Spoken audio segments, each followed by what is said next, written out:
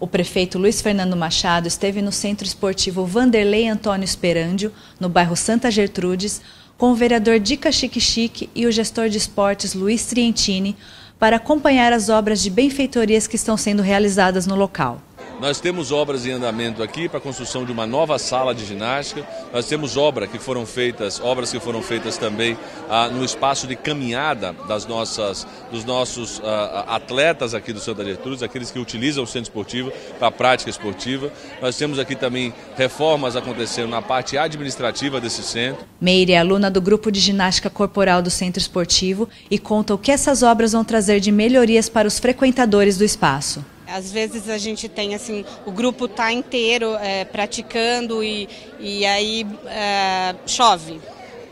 E aí a gente tem que parar a atividade porque molha, né? A melhoria né, dos vestiários que agora estão sendo usados como é, depósito, né? vai ficar livre para ser usado como vestiário, como banheiro, né? O vereador Dica acompanhou a visita e explicou que o seu papel é de intermediar as reivindicações da população junto ao poder público. O vereador é a ponte que a população tem com o executivo. Hoje aqui está aqui o prefeito, está o gestor de, de esporte, está o gestor de saúde. É essa ponte que o, que o vereador faz da população com o executivo para trazer a melhoria para o bairro.